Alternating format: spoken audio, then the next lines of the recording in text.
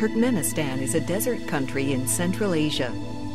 It's bordered by Kazakhstan to the northwest, Uzbekistan to the north and east, Afghanistan to the southeast, Iran to the south and southwest, and the Caspian Sea to the west.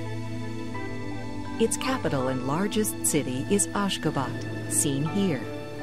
Turkmenistan is home to slightly over 5 million people 85% of whom are ethnic Turkmeni Sunni Muslims. 10% of its citizens are of Russian heritage and tend to follow Russian Orthodox Christianity. Small numbers of ethnic Uzbeks live in Turkmenistan as well. The country possesses the world's fourth largest reserves of natural gas and substantial oil reserves, and Turkmenistan derives some revenue from raising cotton, too. Turkmenistan lies on the route of the ancient Silk Road, and several historic structures from that era still survive here. Turkmenistan was once a member of the Soviet Union. Today, it is considered to be a unitary presidential republic, in which the president is both the head of state and the head of government. In practice, Turkmenistan was a dictatorship under its first president, Saparmurat Niyazov, for 15 years following its independence from the USSR. Niyazov constructed several extravagant monuments like this one to himself and is believed to have stolen over a billion dollars from the country's treasury. His successor, Gurbanguly Berdimuhamedow, oversees what many international observers agree is one of the most isolated and repressive governments in the world today.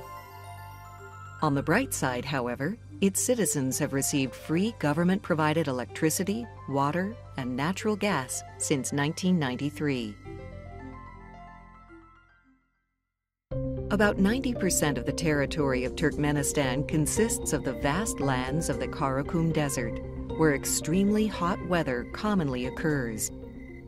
The arid western part of the country has over 1,000 miles of desert coastline along the Caspian Sea. A huge, very salty lagoon of the Caspian Sea, called the Kara-Bogaz-Gol, lies entirely within the territory of Turkmenistan. And to its east is the large Sarıkamış Lake. Once fed by a river, today it gets most of its water from the polluted runoff of nearby irrigated farmland. But most of the country's agricultural land is in the south near the huge Karakum Canal, which brings irrigation water for 683 miles from the Amu River in the east.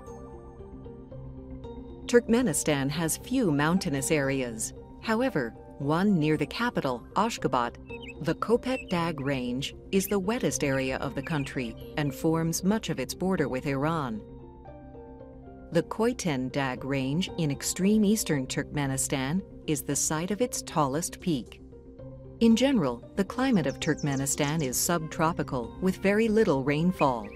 Winters are mild, with most precipitation falling between January and May. Summers here are typically extremely hot and dry.